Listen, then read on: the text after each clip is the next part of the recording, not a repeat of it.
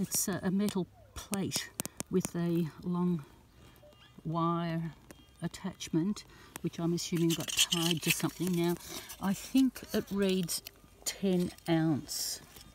I don't know if you can see that there, but it reads 10 ounce on the top here, and something else at the bottom which I can't make out. But that's another lovely find. And also here, there's quite a few broken old bottles. So I'll keep looking around here for a while, I think. Thanks for looking.